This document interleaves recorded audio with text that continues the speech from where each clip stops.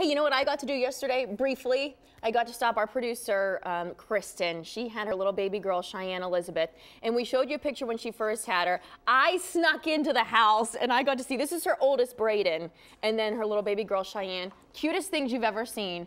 It, you know, being a mom, I swear, is such a remarkable thing, and it's it's also a very tough thing. I, I give her so much credit having a newborn like that. How a, cute are they, pretty, though? It's a pretty cool name too, Cheyenne Elizabeth. It's like they used up all the letters.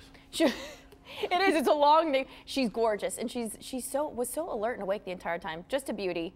Loved visiting them. We miss Kristen, but I know she's she has her hands full there at home, so it's good to see you guys. All right, now we are talking about the holiday season.